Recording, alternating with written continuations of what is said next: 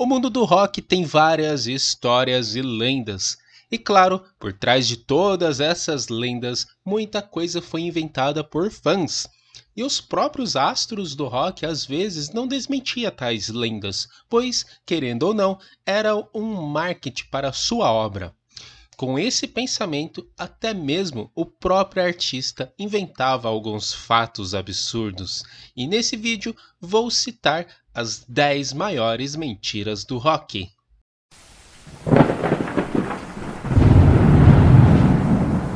Antes de continuar o vídeo, quero deixar dois recados rápidos e indolor. O primeiro é o clichê de sempre. Caso não é inscrito, inscreva-se para não perder os próximos vídeos e deixe o like para fortalecer o vídeo na plataforma e para mais pessoas verem, beleza? Agora, o segundo recado é mais uma indicação de uma banda brasileira fodástica, que é o Castélica.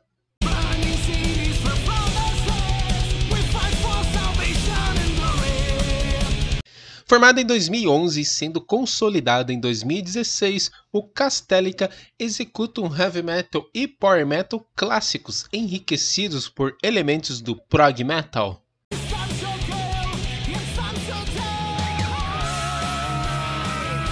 Então, se curtiu, já sabem, né? Confira o trampo dos caras. Eles têm trabalho divulgado aí nas plataformas de streamings, tem as redes sociais e vale a dica aqui também. Escuta o álbum Moment of Glory, lançado recentemente. Cara, é sensacional.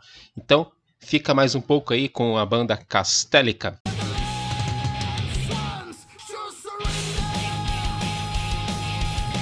Então é isso, galera. Eu sempre falo nos vídeos onde eu recomendo alguma banda. Apoie o rock, principalmente aqui o cenário nacional. Mas tem muita coisa boa também lá fora, mas o rock não morreu. É só você que não tá sabendo procurar, beleza? Bom, agora sim, chega de enrolar. Prepare o santo graal, fique tranquilos e vamos nessa.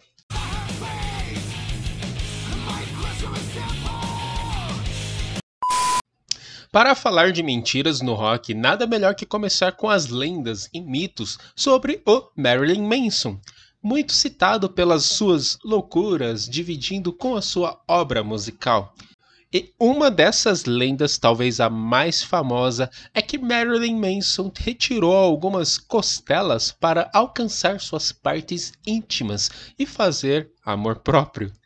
É exatamente isso que você está ouvindo. Até os dias de hoje, essa lenda sempre é citada, claro, por ser um fato bem inusitado e por se tratar do desengolçado Marilyn Manson, vamos falar a verdade.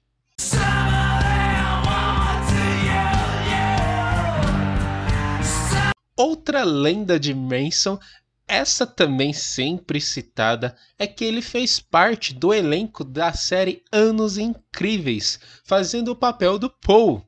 Apesar de parecer muito, e se fosse verdade ia ser incrível, o personagem Paul foi interpretado pelo ator Josh Saviano.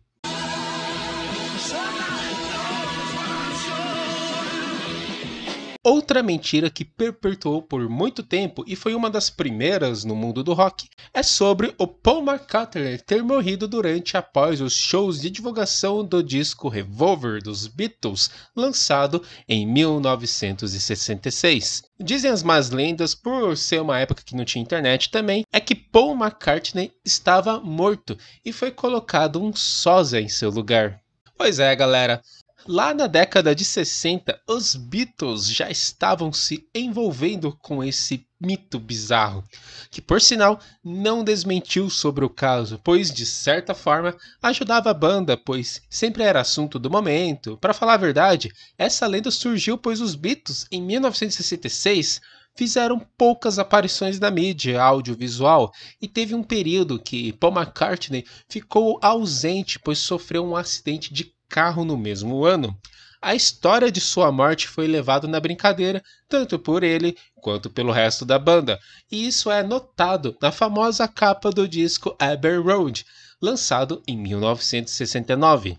Nessa lendária capa desse lendário disco, dizem que representa um funeral, sendo o John Lennon puxando a fila, representando o padre por causa das suas vestes brancas. Logo em seguida, com um terno, temos o Ring Star, representando o responsável pelo funeral, ou podemos dizer que é alguém da família que está organizando, enfim. Logo em seguida, temos o próprio Paul McCartney, descalço, representando o cadáver. E logo atrás aparece o George Harrison, de calça jeans e representando o coveiro. Além dessa teoria, o que aumenta mais ainda a lenda é que o cigarro na mão de Paul McCartney está na mão direita, sendo que ele é canhoto. Nos dias atuais, o próprio Beatles já falou sobre o caso e tudo isso foi uma jogada de marketing. Ou será que foi o sósia que disse isso? Vai saber.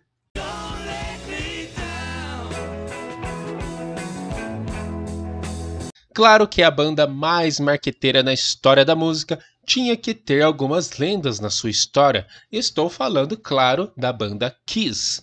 Basicamente, sobre o baixista e vocalista Gene Simmons, que muitos alegam que ele trocou sua língua por uma língua de vaca. E essa suspeita veio, claro, pela sua característica de mostrar a língua nos shows e fotos promocionais, que de fato é deveras grande, mas não ao ponto de ser uma língua de faca, convenhamos. Isso por um motivo bem simples: fazer um transplante de uma língua humana já é complicado, imagine de uma vaca. A minha teoria é que as capas e cartazes promocionais da banda Kiss foram desenhadas principalmente por artistas de quadrinhos, e esses artistas davam uma aumentada na sua língua. E fora que no ambiente dos shows, com todas aquelas luzes e pirotecnia, dá a impressão de ser uma língua bem desproporcional.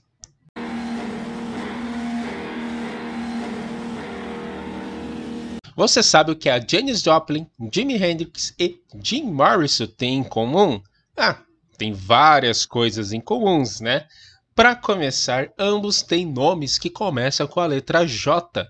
Ambos surgiram no estouro do movimento hippie e, infelizmente, morreram com 27 anos de idade, fazendo parte daquele famoso clube dos 27. Mas muitos alegam que foram mortos pela CIA, como forma de censura. Isso de fato é uma lenda, por mais que existam diversas coincidências, já que ambos eram porta-vozes da sua geração hippie. Diversos discursos anti-guerra e, claro, o talento musical. A coincidência mesmo é que eles chegaram ao ápice de seus vícios nessa idade, infelizmente, e vieram a óbito.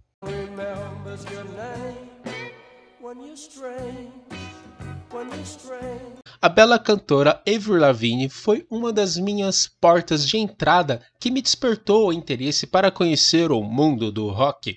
E não é à toa, seus dois primeiros discos são sensacionais. Claro, para quem curte um pós-grunge, um pop rock dos anos 2000.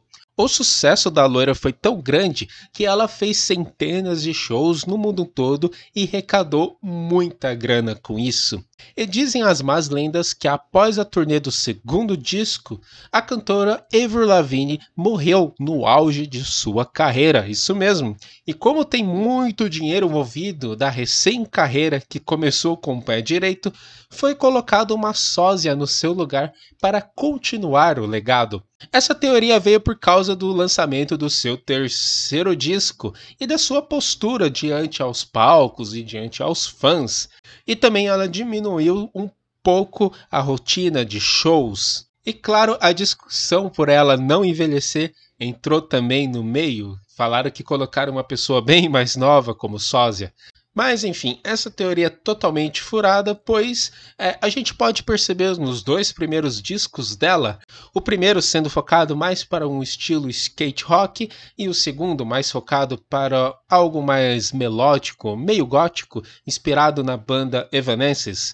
Então, claro, o terceiro disco também teve uma postura totalmente diferente, mais voltado para o pop, e aí tivemos essas teorias malucas. Bom, a cantora canadense já comentou sobre o caso e disse que é mentira. Ou será que foi a própria sósia que falou isso? Vai saber.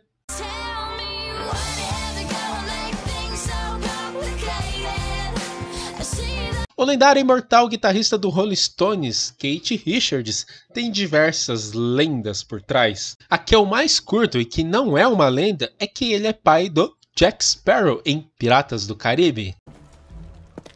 Olá, Jackie. Olá, pa... Mas nesse vídeo não vamos falar de filmes.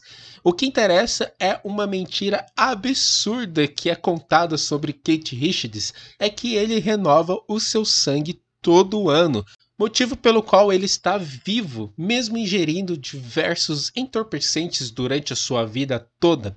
Mas já foi constatado que é humanamente impossível realizar troca de sangue por completo, o que não é uma mentira, pelo menos foi confirmado pelo próprio guitarrista, é que ele cheirou as cinzas do próprio pai. Olha que loucura!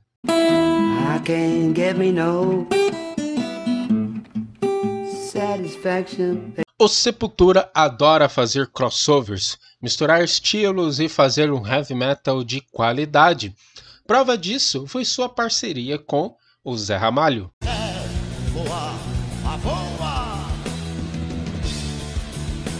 Mas imagina que foda seria o Sepultura com Luciano Pavarotti. Dá para imaginar, pois existe uma versão da música Roots Blood Roots cantada pelos dois.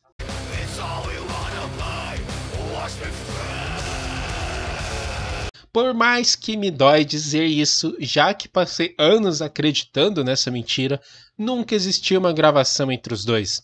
Acontece que uma banda alemã fez uma versão dessa música cover e reimaginou o Sepultura cantando junto com Luciano Pavarotti. E muitos reoparam essa música no YouTube como se fosse do próprio Sepultura cantando com o Pavarotti, o que viralizou imensamente. Claro, tudo isso não iria acontecer se a versão não fosse boa. Então eu recomendo muito você escutar caso ainda não ouviu.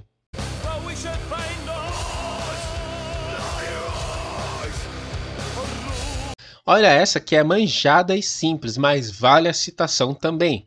Muitos falam que a banda ACDC tem como significado Antichrist e Death Christ, ou seja, Anticristo e Cristo morto. Assim, a banda sendo rotulada como satanistas. E para ajudar essa teoria, o guitarrista Angus Young faz gestos de chifres com os dedos durante os shows da banda. Os fãs usam chifres também, e a banda tem em seu repertório músicas como Hell's Bells e High to Hell, dois clássicos absolutos do rock, mas tem no seu nome a palavra inferno. Mas bem, o real significado de ACDC é Alternate Current e Direct Current traduzindo ao pé da letra, corrente alternada e corrente contínua, siglas para distinguir tipos de eletricidade. É por isso que o símbolo da banda é um raio.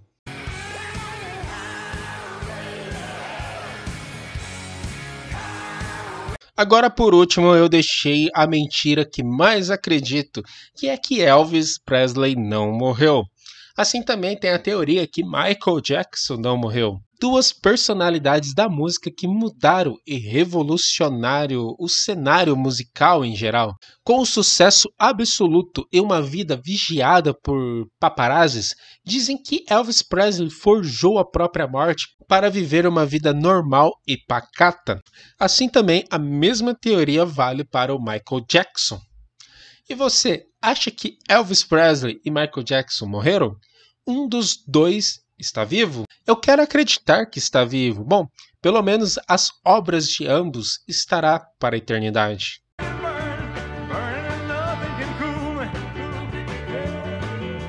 Bom, então é isso. Espero que você tenha gostado desse vídeo. Comente caso saiba de mais uma mentira no mundo do rock. Se não é inscrito, inscreva-se para não perder os próximos vídeos. Assim, já aproveite o combo e ative o sininho para ser notificado quando tiver vídeo novo no canal. Ou melhor, siga a gente nas nossas redes sociais, pois esse sino do YouTube é muito bugado. Lá também avisamos sobre vídeos novos e também postamos outras coisas relacionadas ao canal e ao mundo do rock. Bom, compartilhe esse vídeo para espalhar a santa palavra do rock, né? Deixe seu like para fortalecer a causa. Eu vou ficando por aqui. Falou e até mais!